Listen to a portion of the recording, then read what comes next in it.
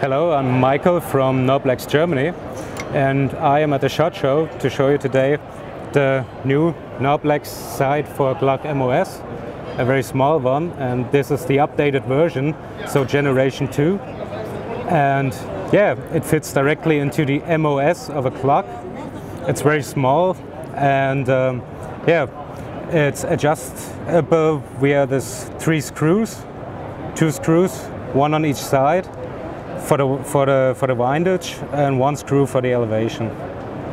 There is a CR1632 battery inside and the red dot is a 5 MOA dot and the battery runtime is more than one year and there's a light sensor as well so the brightness of the red dot is uh, being adjusted with the light sensor.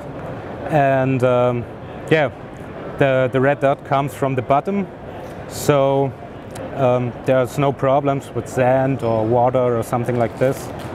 And yeah, that's it. Very small and it's co-witness. So you can also use the rear and the front side at the same time.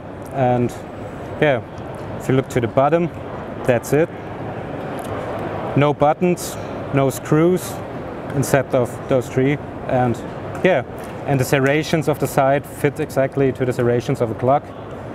And yeah, it will be available from March this year on.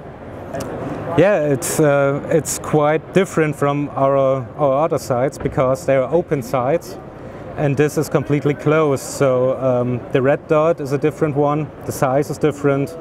So yeah, it's it's completely different. For more detailed information, please have a look on our Noblex homepage. It's uh, noblex-germany.com.